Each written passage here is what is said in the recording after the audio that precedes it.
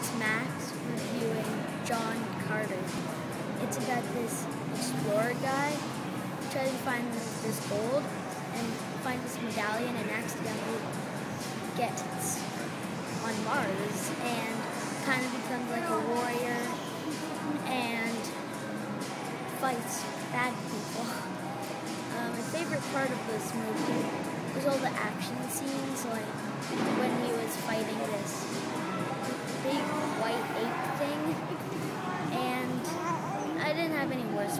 some lovey-dovey in it, but I'm okay with that. Uh, the 3D was good. I like the 3D. Also, there's, like I said before, there's lots of action scenes, and the action's really good. Also, the creatures are good in it. Like, they have nice creatures. Uh, there's some funny parts in this movie, and I would give